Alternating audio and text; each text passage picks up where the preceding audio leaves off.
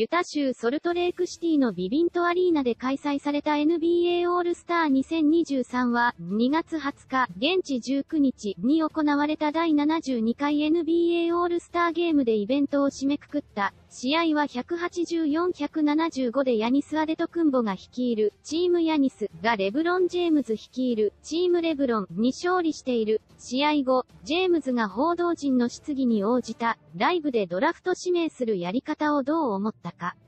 最も楽しかった瞬間は、ファンと交流できたことだと思う。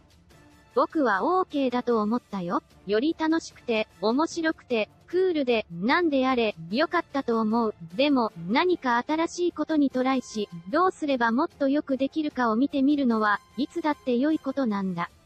特に僕たちのゲームではね、刺激を与えるために、新しいフォーマットや方法にトライする機会があるのは、いつだって素晴らしいことさ。でも、全体的に素晴らしいオールスターウィークエンドだった。参加したみんながよく思ったんじゃないかな。ホストしてくれたソルトレークシティに敬意を表したい。手はどうしたのかどんな具合マイケル・マローンヘッドコーチは守備を大事にするコーチだ。クリーブランドキャバリアーズ時代の最初の頃に彼の指導を受けた。今夜は一つ止めてみせると彼に言ってあったんだ。それでチェイスダウンブロックをしようとして、指をリムにかけてしまった。でも、大丈夫だよ。あまり心配することはないと思う。念のために休まなければいけなかった。自分でチームメイトを選ぶのは常にあることではない。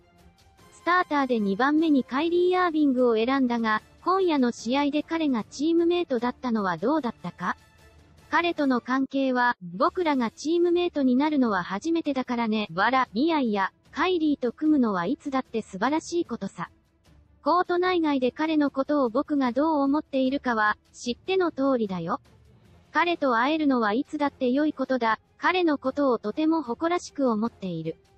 人生において今の彼になったことを非常に誇らしく思うよ。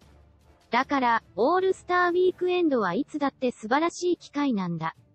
自分がプレーを見て称賛し、対戦して清い、でもそのバスケットボールのやり方が大好きというような選手たちと一緒になる機会だからね。